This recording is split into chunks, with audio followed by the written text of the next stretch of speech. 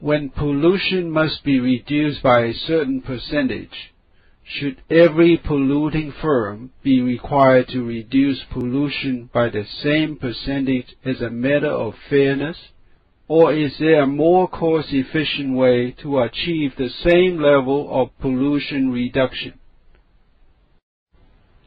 In the absence of pollution regulation, Firm A will pollute all at once at this level. Pollution reduction involves cost. It is reasonable to assume that the cost of additional reduction, namely the marginal cost, goes up as pollution is reduced towards zero. Increasing marginal cost of pollution reduction in turn leads to steeply rising total cost. The height of the total cost simply maps the blue area under the marginal cost at a given level of pollution.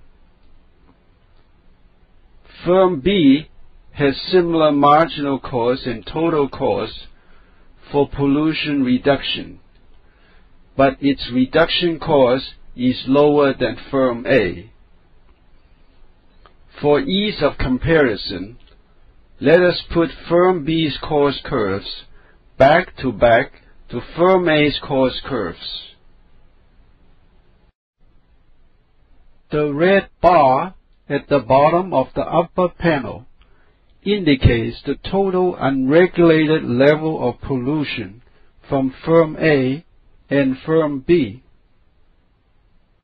If each firm is required to reduce pollution by the same percentage, the total pollution will be reduced as shown.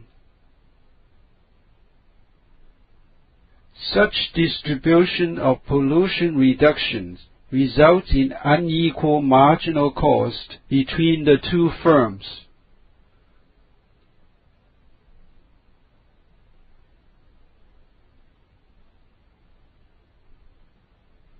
The marginal cost at firm A is much higher than the marginal cost at firm B. The total cost of such uniform reduction is shown by stacking the total cost for firm B on top of firm A.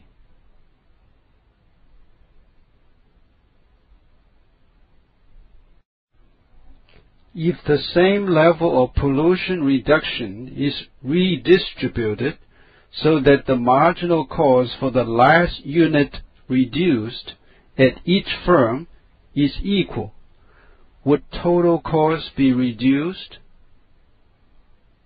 Such redistribution of pollution reduction involves moving more pollution reduction from higher cost firm A to the lower cost firm B until the marginal cost at each firm is equal.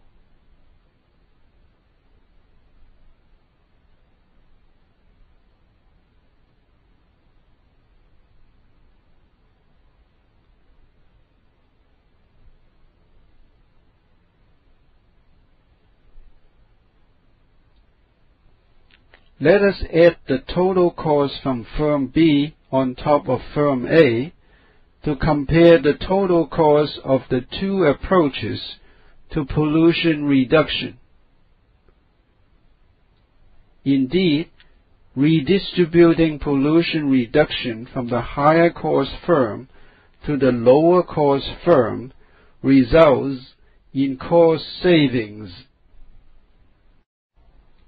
Instead of imposing uniform pollution reduction by a certain percentage of existing emissions, the regulatory agency could simply impose an appropriate level of pollution tax and let the firms find their own cost minimizing level of pollution reduction. Lower cost firms would find it more cost efficient to reduce more pollution than the higher cost firms.